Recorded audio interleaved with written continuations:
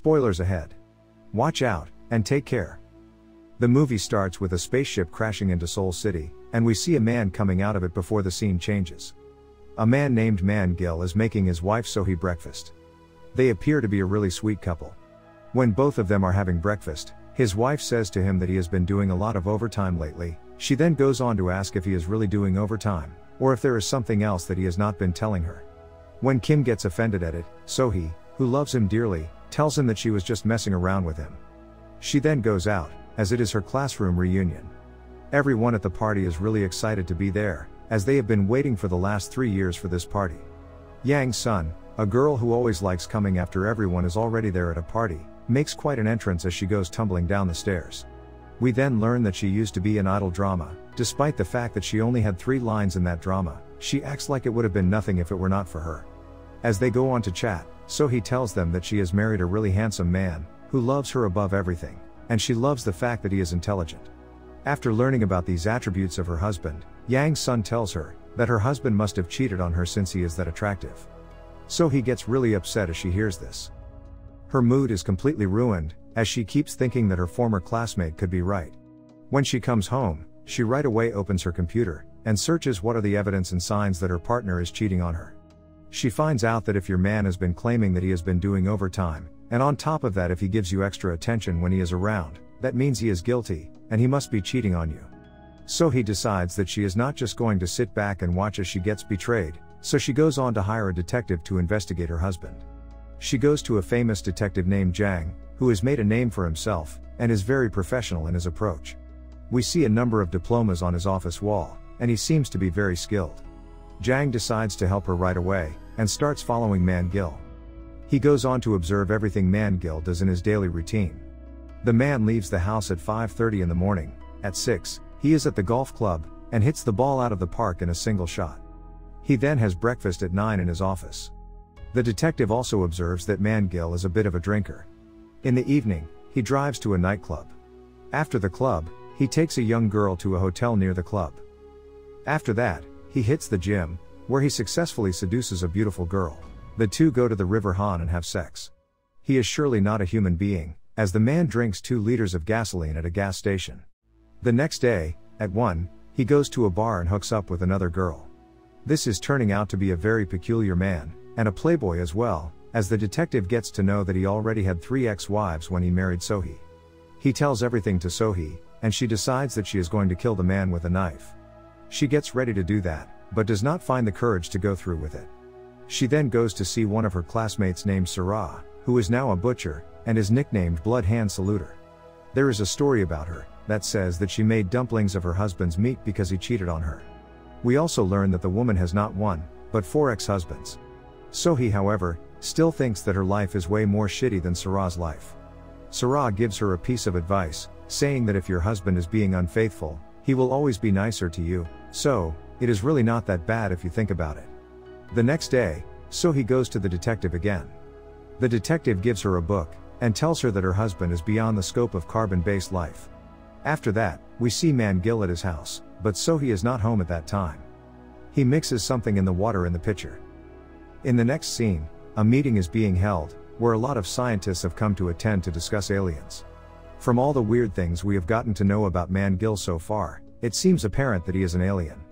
The scientists say that the main purpose of these aliens is to inject their virus into other people. Sohee goes to the gas station with the detective, as he wants to show her something. There, she sees her husband drinking gasoline. When Sohee gets home that night, she drinks whatever her husband had mixed into water. As she does that, she dies right away. When he takes her to the hospital, Kim pretends to be heartbroken, but much to his dismay, his wife comes back from the dead. He then goes to a shop, where he picks up the deadliest poison to kill his wife. On the other hand, the detective and wife of Man Gil are planning on killing him. They set up a high voltage wire in the bathtub. They then go on to rehearse how Sohee is going to carry out the plan when he gets home. After that, Yang Sun appears there with a gun, as she gets the message that her husband is at Sohee's house. The detective turns out to be her husband. Yang Sun then goes to the bathroom, but she finds Sarah there, she gets scared and gets out of there. Yang Sun is in need of a cigarette, her lighter does not work so she tries to light it with an electrical lighter, as she pushes the button, her husband, who has been sitting in the wired bathtub, gets a huge electric shot and dies. As they take care of the body, Man Gil arrives, and so he lures him into the bathtub right away, where they try to give him a shock, but it does not work for him at all. They then try killing him with poison wine, but it comes back to bite them in the back, as Man Gil likes it, and asks the girls to have a drink with him as well. In the meantime, the detective wakes up in the closed care machine. Man Gil opens the machine and finds the detective in there, and asks what he is doing in their house. As Jang opens his eyes and passes out again, Sarah comes forward to check on him, and declares him dead. They decide that if they want to save themselves, they will have to take proper care of the corpse, so alien friends of Man Gil arrive to help them with that. They go out to a distant place to dig a grave for the detective, where Sohee knocks her husband out with a shovel. They then go on to bury him with the detective. Just as they are about to go away after burying both men, a head comes out of the grave, and Man Gil asks what is going on. The women get scared and haul ass. As they drive away, Man Gil runs so fast that he catches up with them, and asks Sohee to stop the car. The car, however, crashes, and Man Gil, who was on the top of its roof, falls off a cliff. The girls hope that he must be dead now. The women then go home and find the dead bodies of friends of Man Gil. It turns out that they drank the poisoned wine and died. Now, they have to bury three more bodies. To their bad luck, they get stopped by the police, and when asked about the men in the back seat, they tell the police that they are just drunk. The police take them to the police station, and say that they want to talk to the aliens. The girls try to keep them away from them, but when they go out, it turns out that the aliens are alive. Much to their dismay, the police brought in a man who turns out to be the detective. Man Gil also arrives, and the police get to know that they know each other. All of them then drive back in the same car, and the situation is really awkward for everyone. One of them says that they all understand what is going on, so they can stop pretending that everything that has been going on is just normal. All of them start fighting in the car again and it crashes. Their car literally flies off the cliff, and as it lands, it rolls down a steep path. The women manage to get out before the men and everyone starts to leave. Man Gil wakes up with a knife in his head, but he is still not hurt and moves like a normal healthy person. He takes out the knife from his head.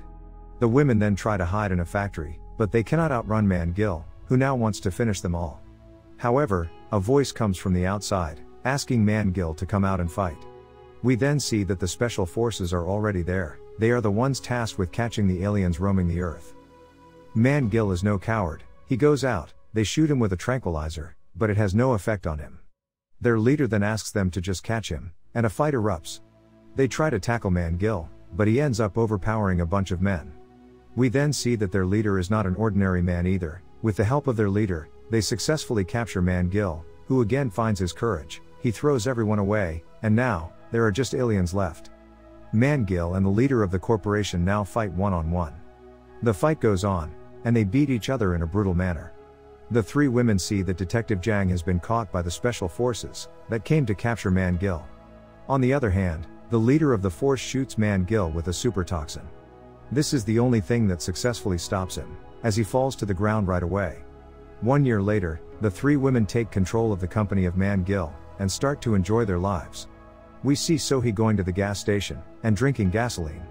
It turns out, she is also an alien. The end. Thank you for watching.